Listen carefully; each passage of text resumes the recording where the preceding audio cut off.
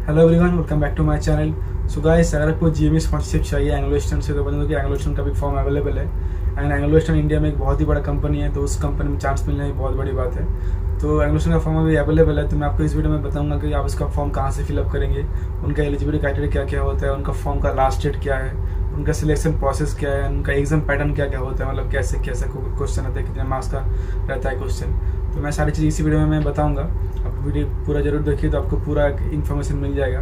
तो वीडियो सकने पहले बताऊँगा कि अगर आपको जेम स्पॉन्सिबल स्टडी मटेरियल चाहिए इंटरव्यू टेस्ट क्वेश्चन चाहिए एंड सेकेंड टेस्ट क्वेश्चन चाहिए तो you can check my description section my description section you get some links and from the list you get the study material so let's to this video so guys अगर आपको G M sponsorship चाहिए for Anglo तो बता कि Anglo एक बहुत ही अच्छा company है फॉर जी एम स्पॉन्सरशिप तो उसका भी फॉर्म अवेलेबल है। तो दे आप देख सकते हैं एंग्लोस्टन का ऑफिशियल वेबसाइट है A E M A dot E D U dot in तो मेरे डिस्क्रिप्शन में जो लिंक दिया हुआ है, आप जैसे उस लिंक पे क्लिक करेंगे, आप पहुँचेंगे इस पेज पे।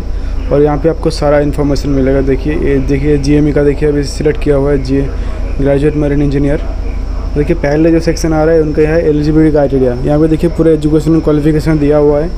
आपका बीटेक होना चाहिए with sixty five percentage marks ठीक है? अगर क्लास ट्वेल्थ में minimum sixty five percent marks होना चाहिए पीसीएम में, या फिर अगर आप डिप्लोमा किए हैं, उस टाइम पे आपका minimum sixty five percentage marks होना चाहिए। तो इंग्लिश में देखिए लिखा हुआ है मिनिमम फिफ्टी परसेंट मार्क्स चाहिए क्लास टेंथ या फिर ट्वेल्थ में। Age limit not more than twenty eight years आपका अनमेरिड होना चाहिए एक कोर्स के लिए एडमिशन के लिए। देखिए, यहाँ पे आपका हाउ टू अप्लाई फिर पेमेंट का प्रोसेस सीट बुकिंग का प्रोसेस मतलब क्या है कि आप पहले फॉर्म फिलअप करेंगे, फिर फॉर्म फिलअप के बाद फिर आप पेमेंट करते ही, फिर आपके ईमेल पे एक लिंक आएगा। फिर उस लिंक से आप आप जहाँ पे एग्ज़ाम देना चाहते हैं वो सीट बुक कर सकते हैं। मतलब वहाँ पे आपका जो एग्ज़ाम सेंटर है, वो चूज़ कर सकते हैं, वहीं से। देखिए, नीचे देखिए, यहाँ पे आपका एग्ज़ाम पैटर्न दिया हुआ है। पैनल वन पैनल टू दो दो पैटर्न दिया हुआ है।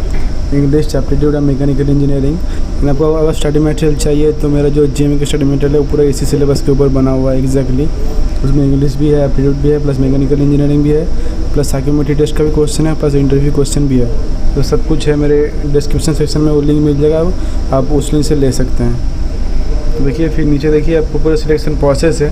आप जैसे ही सी टेस्ट पास करेंगे मतलब ऑनलाइन टेस्ट फिर आपका होगा इंटरव्यू फिर मेडिकल आपका एडमिशन हो जाएगा.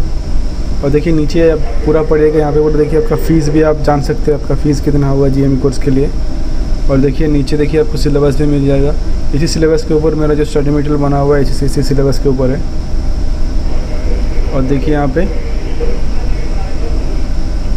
ये देखिए जनवरी 2025 बैच का है, ठीक है, जनवरी 2025 बैच का है। और देखिए एप्लीकेशन स्टेटस अभी ओपन है, और इसका लास्ट डेट है थर्टी सेप्टेम्बर अभी बहुत टाइम है, दो तीन महीना है। अब इसका फॉर्म फिलअप कीजिए प्रिपरेशन कीजिए एग्ज़ाम के लिए। ठीक है तो ये सब हो गया। इन्फॉर्मेशन अभी अप्लाई करने के लिए आपको क्लिक करना पड़ेगा। यहाँ पे अप्लाई नाउ ऑप्शन पे। देखिए, जो अप्लाई नाउ ऑप्शन है, यहाँ पे अप्लाई नाउ पे क्लिक करना पड़ेगा।